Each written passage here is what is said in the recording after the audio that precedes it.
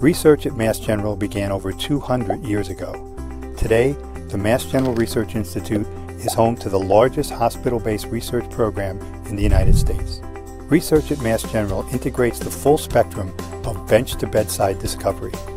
At Mass General, translational research is performed by scientists working in the lab with clinical researchers.